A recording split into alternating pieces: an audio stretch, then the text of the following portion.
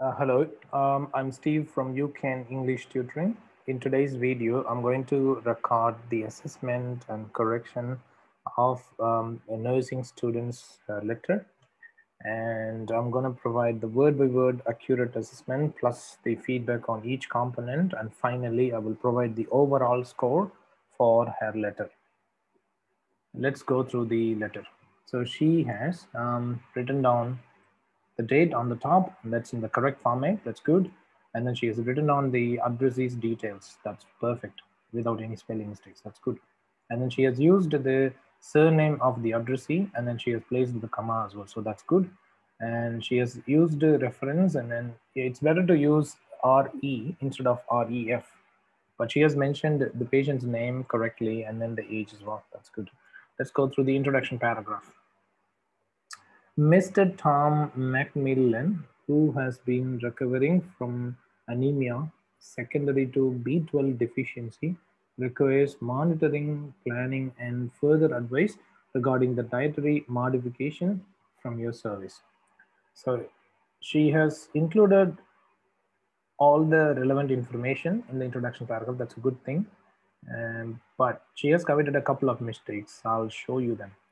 Look at this instead of writing the clinical dietitian, just the clinical dietitian, she should have written on the clinical dietitian on the top. Look at this. That's one of the mistake. That's the first mistake. You need to always ensure that you add the in front of the designation of the addressee. And then she has written on Mr. Tom McMillan. Okay. Sorry. she has used you know the full name of the patient twice which is not good. She should only use the full name of the patient or the addressee once throughout the letter. If she needs to use the same name she needs to use only the surname of the addressee or the patient. So here she should have written on mr McMillan. That's it. But apart from that it's all good in the introduction paragraph. Let's go to the next paragraph in the second paragraph, let's go through this. Um, okay. There is another issue as well here.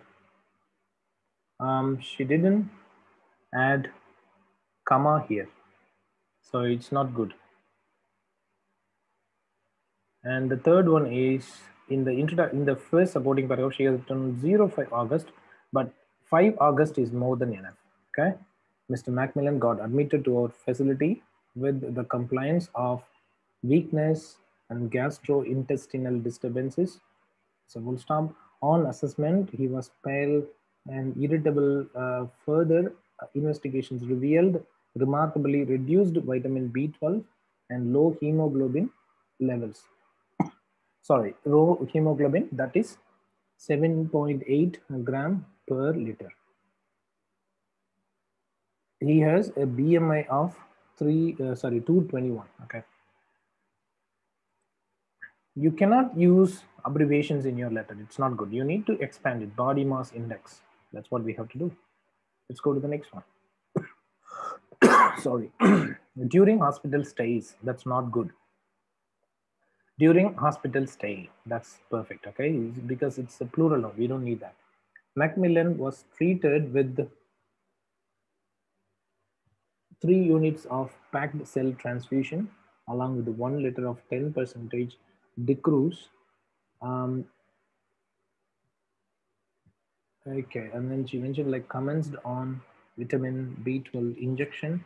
In addition, he was uh, provided with vegetarian diet rich in vitamin B12. Mr. McMillan is a student who follows uh, vegetarian diet for the last eight years, he used to eat from outside as he is lazy to prepare food from uh, food, um, okay, food at room, okay. And then he's also a social drinker. Well, in this case, unfortunately, she didn't, she used he is lazy, but he, he needs to mention he was lazy because you used the past tense in the in the first section of the sentence. So he used to eat from outside as she he was lazy. So that should be the correct one. All right, let's go to the next page.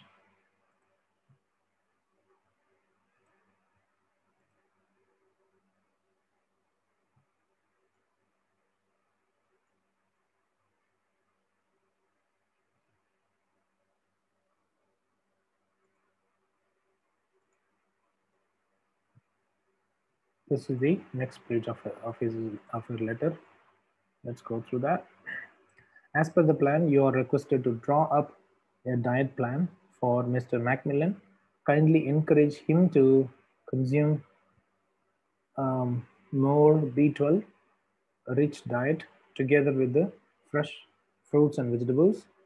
He is instructed to continue B12 twice a week for two weeks and then once a week for three weeks.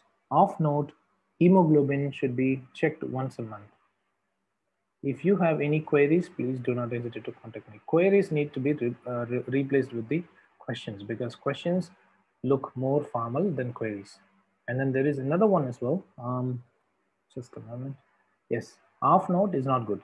You need to use please note. And then you have to write down the registered nurse.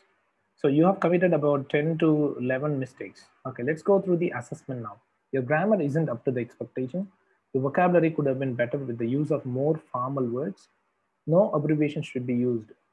Connectivity is okay. You have used more simple sentences instead of using a combination of complex, compound, and simple sentences. So it's not good.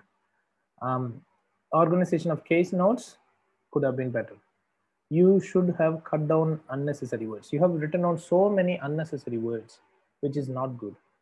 Um, if you write more than 220 words, uh, and if you include an important information after them, uh, you will not be able to achieve your desired scores because they don't take those information into account for the assessment. Overall task fulfillment is okay.